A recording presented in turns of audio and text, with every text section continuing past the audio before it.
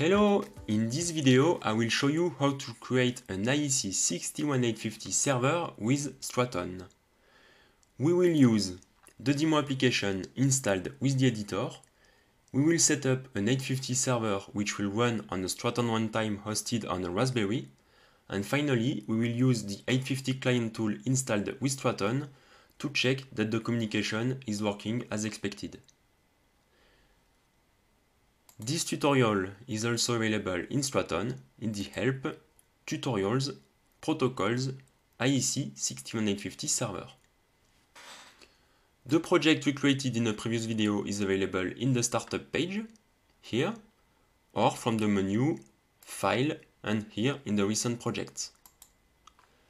The SCL file we created in the previous video was really simple, so in order to make this video more interesting, we will use the demo application installed with Straton.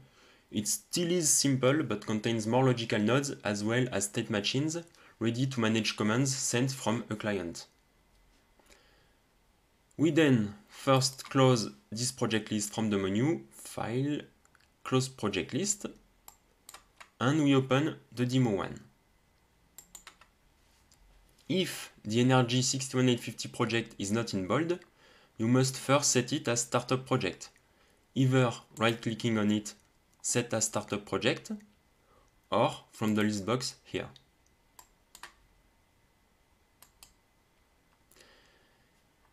We can see that in this SCL file, we have four logical nodes, logical node 0, LPHD, MMXU, and a circuit breaker logical node. For the circuit breaker node, if we edit the type, here at the bottom right, logical node types, I expand XCBR, right click on it, edit type. I can see that we have the data object position for the circuit breaker with the command data class double point controllable. If I double click on the command data class, I can see that data objects are here. And if I click on the edit button, I can see that here grade are the mandatory data objects and we have also optional, mandatory, optional data objects with, which have been checked. Select before operate, operate, cancel, and other data objects. Okay. In the programs, here, we have the XCBR1 project. I can see that commands are managed here. If I click on the plus key, I can zoom the state machine is managed by an UDFB, a user-defined data block, a user-defined function block, which is here, IEC 61850 DPC. This state machine manages double point controllable operations sent from the client.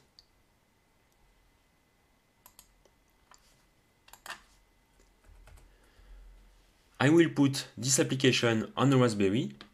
So if not done already, you can recover our Raspberry runtime directly on our website, as well as the tutorial about how to make it run.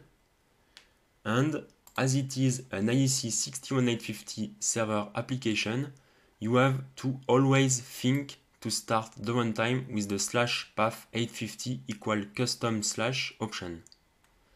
So you start as an you start it as an administrator sudo dot slash the name of the runtime with slash path 850 equal custom slash option.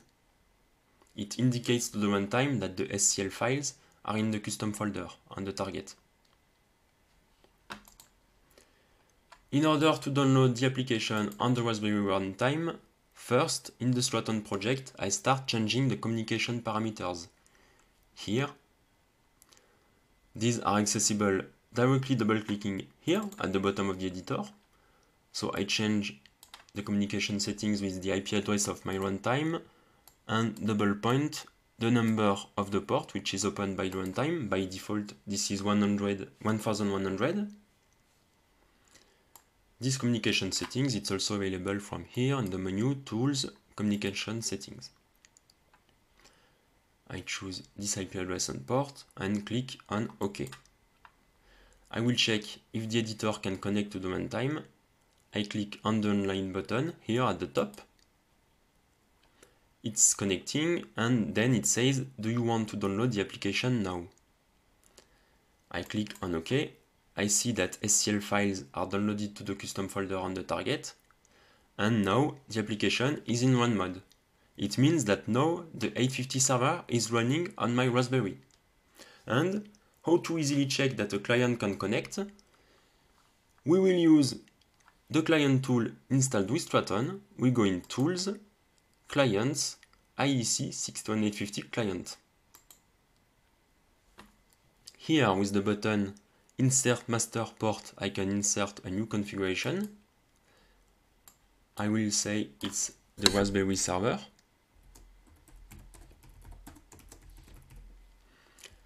I set the IP address of the Raspberry. The port open by the 850 server, by default it's 102, and we have other options we will keep it simple and just click on OK. Then we connect to the server using the activate deactivate button here. I can see that data is recovered from the client. It connects to the logical device, so to the Raspberry, which is running the 850 server, and I can see my four logical nodes, LLN0, LPHD, MMXU, and the circuit breaker. If I expand the circuit breaker, here I can see the position, for example, the data object position, with the data attributes. For example, the control model here, which is equal to 4 on the server side. The control model has the functional constraint CF. It means configurable, so I can force it from the client. If I want to force it to another value, I just double click on it. I choose, for example, control model 2, select before operate with normal security. I double click on it. Quickly writing has been displayed. I can see that no control control model is equal to 2. And if I check on the server side in my Straton application, for example, here, I open the profiles to see my 850 server variables. There are several variables already declared in the application. I expand this column and here somewhere I have my Straton logical device circuit breaker 1 position control model equal to 2. Again in the client if I force it to 4 for example I double click and in the Straton profiles, now it's equal to 4. On the client side, I can do also some uh, operations like select, operate. So I will do that on the position, on the position of the circuit breaker. I just double click on the position. For the moment, I see that the position is 0. And I will do a select to true in order to ask the server to change the circuit breaker position from off to on, so it is the target value. I click on OK. The select has been sent to the server. So if I check in the runtime output on the server side, so for example, I open a program. Here I click on View Output to see the output of the runtime because by default it's not activated if it's a recently installed editor. And here in the runtime output, I can see that there is a want to select which has been received and the select has been accepted by the server. This is managed, this uh, display, by the state machine. Now I go back on the client